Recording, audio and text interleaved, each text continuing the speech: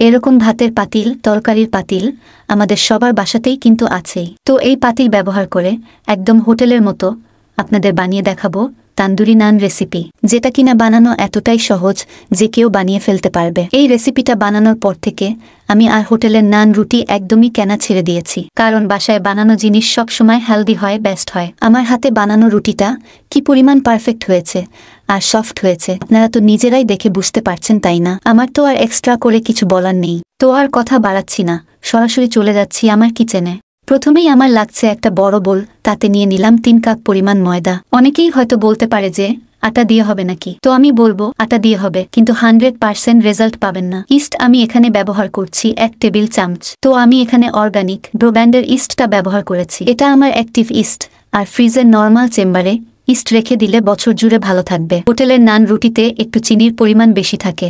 এজন্য আমি দুই টেবিল চামচ ব্যবহার করেছি। আপনারা চাইলে কমও ইউজ করতে পারেন। লবণ দিয়েছি স্বাদ অনুযায়ী। গুঁড়া দুধ দিয়ে দিলাম এক টেবিল চামচ। এখন সবগুলো উপকরণ হাতের সাহায্যে ভালোভাবে ঘষে ঘষে মেখে নিচ্ছি।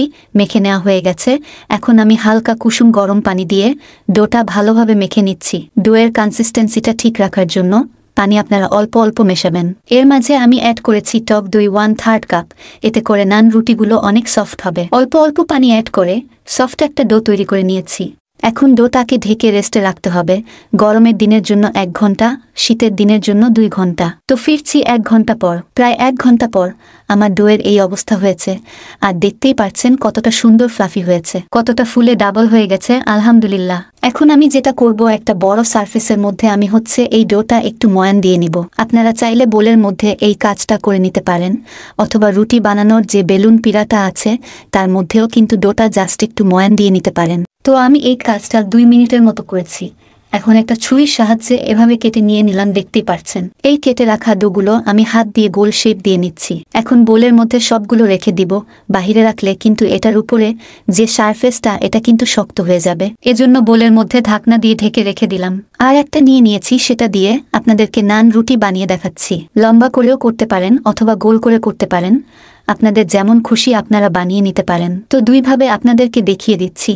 আপনাদের যেটা ইজি হয়, আপনারা সেটাই করবেন। হোটেলের নান রুটির পুরুত্ব কিন্তু একটু মোটা থাকে, তো সেজন্য দেখতে পাচ্ছেন, আমি থিকনেসটা কেমন রেখেছি। আর চুলার জালটা একদম লো করে দিব।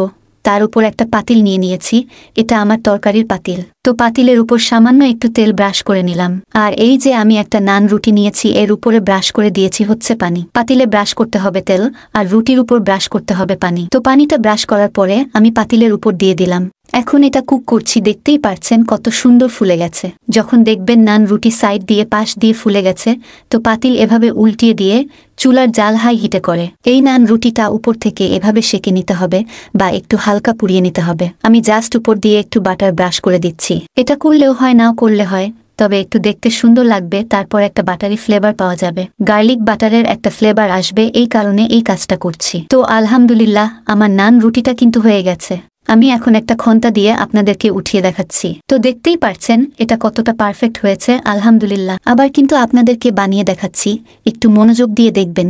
এটা কিন্তু অনেক ইজি আমি জানি, আপনারা পেরে যাবেন বাসায় খুবই ইজিলি তো পাতিলটা আবারও দিয়ে দিলাম চুলার উপরে, আর রুটির গায়ে আমি পানিটা ব্রাশ করে। পাতিলের উপর দিয়ে দিলাম, দেখতে পাচ্ছেন। সেকেন্ড টাইম কিন্তু পাতিলের উপর আর তেল ব্রাশ করতে হবে না। ফার্স্ট টাইম ব্রাশ করলেই ইনাফ এখন যেটা করব, পাতিলটা উপর করে। এই যে জাস্ট একটু সেকে নিচ্ছি এই রুটির আপসাইডগুলা, আলহামদুলিল্লাহ আমার নান রুটিগুলো একদম হয়ে গেছে। দেখতেই পারছেন কি নাইস একটা কালার এসেছে। হোটেলের যে বড় বড় মাটির তান্দুরগুলোতে এই রুটিটা বানানো হয়। আমি সেটা বাসায় বানিয়ে নিয়েছি এত ইজিলি আর একদম হুবহু ওই কালারটা এসেছে আর ওই ফ্লেভারটা আর কি পরিমাণ পারফেক্ট হয়েছে আপনারা নিজেই দেখেন। আলহামদুলিল্লাহ অনেক সফট হয়েছিল।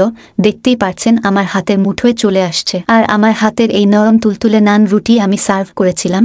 এই বাটার চিকেনের সাথে। এই চিকেনটা খেতে কি যে পরিমাণ মজা হয়, আমার ভিডিওটা চেক করলে আপনারা বুঝতে পারবেন। রেসিপি কিন্তু অলরেডি আমার ইউটিউব চ্যানেলে দেওয়া আছে। আর cooking studio by BD mom channel মানেই সহজ রেসিপি ইজি রেসিপি সেটা তো আমার ভিউয়ার্সরা সবাই জানে, তাই না? তো আজকে এই পর্যন্ত ইনশাআল্লাহ আবার দেখা হবে। আল্লাহ হাফেজ। আসসালামু আলাইকুম।